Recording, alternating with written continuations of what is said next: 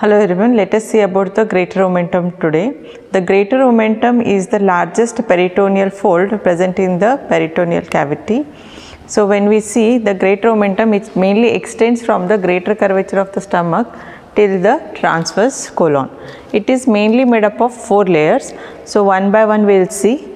The first layer is mainly derived from the greater sac which comes from the anterior surface of stomach and hangs down and covering the intestine part.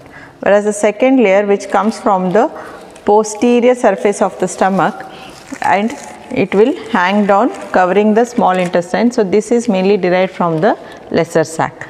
So, what happens the first and second layer they will fold upon themselves and they themselves will continue as a third and fourth layer which will go and attach to the posterior abdominal wall by running above the transverse colon. So, when you see from the side, so the first layer only will continue as the fourth layer which is derived from greater sac and second layer continues as a third layer which is derived from the lesser sac.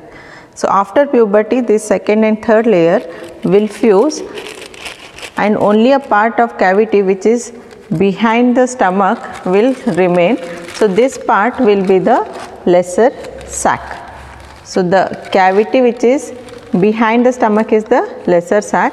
So, the communication between the greater sac and the lesser sac, greater sac is the one which is anterior to the stomach, lesser sac is posterior to the stomach. Only communication between the greater sac and lesser sac is the epiploic foramen. So, this is the lesser omentum which forms the anterior wall of the epiploic foramen.